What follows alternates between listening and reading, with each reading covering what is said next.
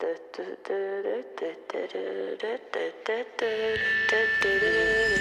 to heroes are told, some turn to dust and gold, but you